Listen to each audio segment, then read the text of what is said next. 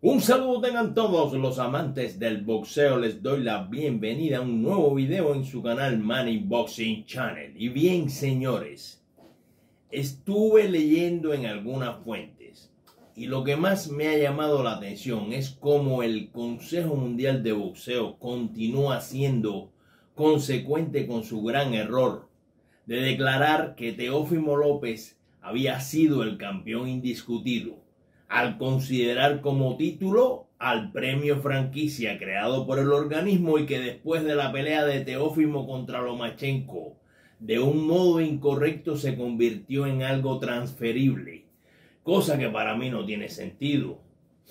Porque eso es como forzar las cosas. Los títulos sí son transferibles, pero eso del franquicia no debe ser transferible como si fuera un título real porque simplemente genera confusiones como realmente ha ocurrido. Pues hoy aún no pocos no comprenden esto. O sea, si Lomachenko no hubiera aceptado en cierto momento el premio a aquel franquicia, hoy no hubiera existido la confusión, pero Lomachenko lo aceptó. Luego Teófimo lo derrotó y se llevó el premio para él. Y ahora Cambosos derrota a Teófimo López y se lo lleva a él, porque la transferencia forzada se mantiene. Pero para que no queden dudas, el Consejo Mundial de Boxeo ha recordado al mundo como para que no menosprecien lo del franquicia que ahora el campeón indiscutido es Cambosos, recuerden.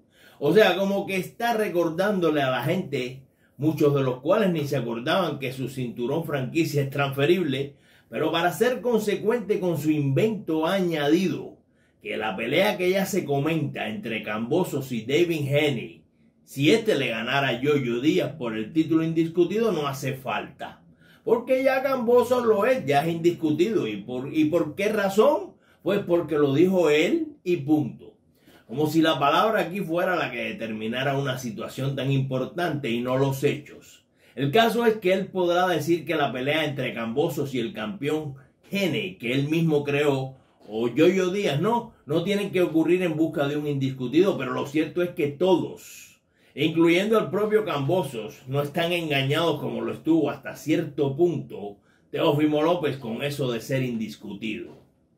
Cambosos sabe, como lo saben casi todo el mundo, que hay que pelear con David Gene o con Yoyo Díaz para ganarse ese título. Y entonces decir con el pecho en alto, yo soy el indiscutido, ahora sí. Pero el Consejo Mundial de Boxeo quiere tapar su error con otro error y continuar el jueguito del franquicia, pero ya Eddie Hearn ha confirmado que Cambosos irá por el indiscutido con el que gane el próximo sábado entre David Henney y Jojo Díaz. Y eso es lo correcto. No se debe desviar la atención del público con eso de que ya eres indiscutido cuando realmente falta un título aún. Y Eddie Hearn lo ha confirmado. Ya prácticamente nadie va a considerar esa idea de que la pelea con Cambosos no hace falta porque él es ya el indiscutido. Si hace falta.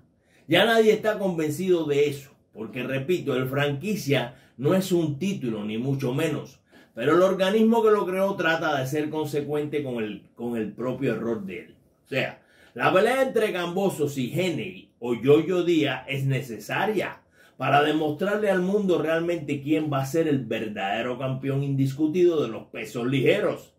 Señores, lo otro fue un total enredo que generó confusión. Lo dijo Eddie Hare, porque ellos no consideran eso de ser indiscutido sin serlo. Y a propósito, Cambosos estará presente el sábado en la pelea entre Gene y Yoyo Díaz. ¿Qué más prueba que esa para saber que esa pelea hace falta para llegar a la verdad? Pero se habla con bastante seguridad sobre David Henney como el muy posible rival de Cambosos en lo adelante. Sin embargo, creo que la pelea entre Gene y Yoyo Díaz va a ser más dura de lo que se supone, lo que supone la gente. Las apuestas están casi 5 a 1 a favor de Gene. Pero ya yo dije una vez, estaré, estaré equivocado, ¿no? Que yo la, yo la voy a dar 50 a 50. Y creo que si Yoyo Díaz va a buscar a Gene todo el tiempo, le aplica esa presión incesante de un modo inteligente, dosificando su energía y lo lleva a las postrimerías del combate con un mejor tanque, podríamos tener a un nuevo campeón. Podría podríamos tener a Cambosos, podríamos tener a Cambosos contra Gene y en lo adelante, pero también podría, podría ser muy bien Cambosos contra Yoyo Díaz, ¿por qué no? En cualquier caso, esa pelea sí hace mucha falta. Diferente a lo que está tratando de dar a entender el Consejo Mundial de Boxeo, pues de esa pelea entre Cambosos y el ganador del sábado saldrá de una vez el campeón indiscutido en esta interesante división sin necesidad de ningún galardón o estímulo. En esa pelea estarán en juego los verdaderos cuatro títulos. Muchas gracias. Quiero saludar en el día de hoy a los viejos amigos del canal, Laurence Herrera, a Gerardo Rodríguez Carbazos y a Eric Ramos. Muchas bendiciones a los tres. Nos vemos amigos, muy buenas noches.